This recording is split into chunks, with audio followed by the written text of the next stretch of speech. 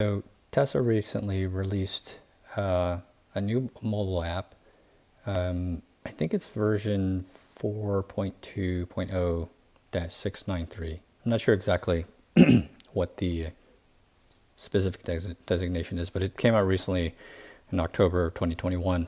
And with that, also a new uh, operating system or the car, you know, software version uh, 2021.36.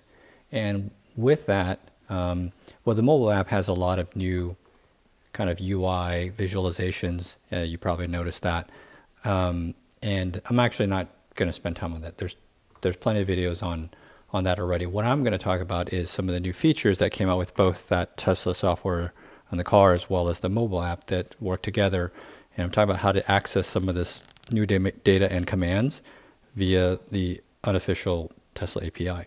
And there's four main ones. Um, the first one is you can set the charging amps uh, as you can do inside the car, but you couldn't do that in the mobile app before. Um, you can set the scheduled charging time. Again, you could do that in the car, but not in the app until now. And uh, scheduled departure, which also you can do that in the car console, but not in the mobile app. And the last one is they added recently um, like a, a Powerwall charge level history. So before it was only available at that uh, at a specific time, but it didn't track a history of it. But apparently they've they've had that for a while. So let's go into to each one. So the first one, in terms of set charge amps, you could see here in the in the app here, there's a little arrow and there's like up and down, so you can set um, just again just like you do in the car, you can turn it up or down, and that essentially um, sets how fast it'll charge based on the available um, electricity um, that's available to that to that charger. And so um, it's uh, it's quite uh, convenient to do that. And um, you know, I'll show you the the code here. And so here uh, you can see the endpoint. It's called set charging amps, and um, wasn't too difficult to guess. I had to guess maybe for five or ten minutes, but uh, you only have to pass this one uh, parameter in the payload for the post called charging amps uh, which is slightly confusing because when you get the output parameter, it's called charge amps. But anyway, you just pass it in here and it'll set it. Um, you could do it that way.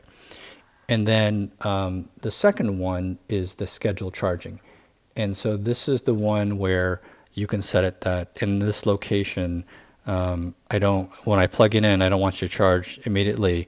I want you to charge at this time, usually at an off-peak rate, right? So um, again, as you do this in the car and it'll tell you here, um, if you go in here, uh, you can say, I want to enable it, and then say, when do you want it to start, right? Just like in the car. And the code for that is uh, a new endpoint they published called um, set schedule charging. That's the endpoint. And then um, the payload is a little bit trickier, um, but uh, you know you can guess it by looking at the UI that um, for some reason they need this enable, right, which is like the little toggle uh, here that you know switches it on and off. So you say, uh, yes, I want it enabled, and then you pass in the time. Now the tricky part is um, the time is in minutes. So I give you an example here. So if you want it to be 7 a.m., um, you know, multiply by 60 minutes plus 30, it's 450. Uh, so it'll tell you it'll start charging at 7:30 a.m. And that's how you pass the information for scheduled charging um, to do it just like you would do in the mobile app here. Um, and then the, uh, you know, the, I had to, you know, just in case you're wondering, I had to rely on lot on the, the, um, the decompiled mobile app to, to get through that. Um, but, you know, what I also noticed was anytime I called this function um, to set the, the charging, which I do do that um, in some of my scripts, it sometimes immediately starts the car charging, which actually does that too when you're in the in the car itself. So what I do when I call it, um, it seems to work is once I call this command, I immediately call a stop charge command. So there's there's an old endpoint that you could do that with, and so I just do that, and then it seems to not charge right there and wait till the actual time I'm supposed to charge. Um, the third one is called scheduled departure, um, and this one I don't don't use. I'll explain a little bit more later, but this was a very difficult to guess. You can see here there's a lot of different toggles about precondition, Um, do you want to charge during off peak? Was it you know during certain times? So you can see here it's a lot more complicated, and I had to rely a lot on the mobile app, the decompile mobile app, mobile app to um, to get to get the right parameters to pass. Um, and uh, a lot of the parameters don't have the same name as the uh, the output version. So um, if you see down here, there's quite a bit more you have to pass. So you have to pass um, enable true, um, and then the departure time, which is also in minutes as as it is for schedule time. So departure time is this part right here, right? So when do you want the car to be ready by? And then um, if you want to precondition at the time, you have to say enable, and this is a true false um, uh, you know value. And then this one preconditioning weekdays only, which is the toggle, the toggle between um, uh, the toggle between the the week all week and weekdays. It's actually a true value, a true false value here. Um, off peak enabled, right? True false here, and then off peak charging weekdays only, or week you know all week, that's these two, that's also a true false value. And then you pass a time in for the period of time which you, um, presumably if the off-peak time ends earlier, it'll try to finish charging by the off-peak time to save you money if you have this enabled. So that's this one called off-peak, uh, end off, off-peak time.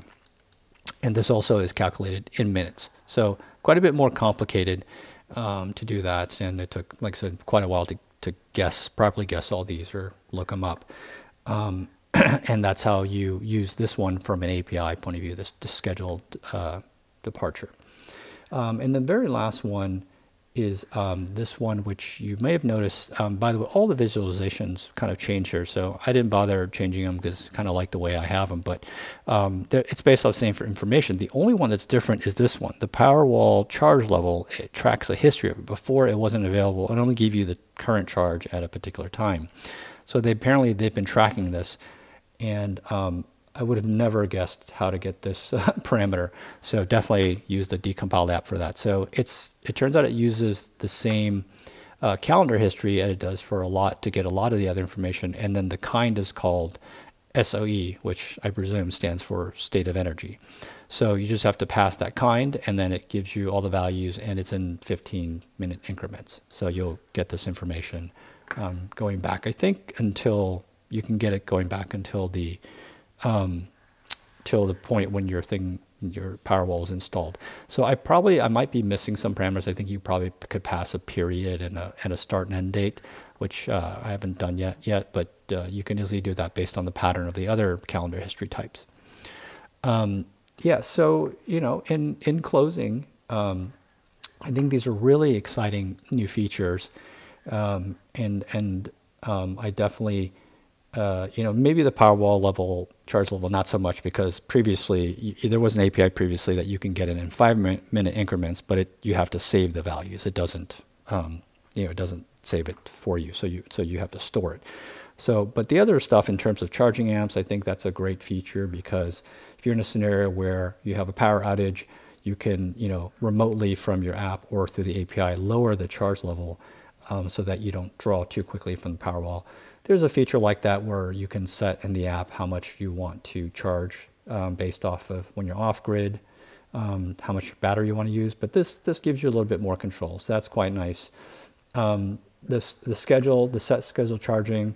Um, that's one that I've been waiting for for a long time because, as you know from my previous videos, I've wrote a lot of various codes to use like triggers and backup triggers to to really simulate this and make the car charge. But it was a lot of errors uh, a lot of error, it was very error prone. Sometimes the car doesn't wake up. So now I could just figure out the time and just set it directly through the API in the car and it'll just wake up. And so far it hasn't failed a single time. So um, I think that's, you know, um, using the car's native function to do that is much more preferred.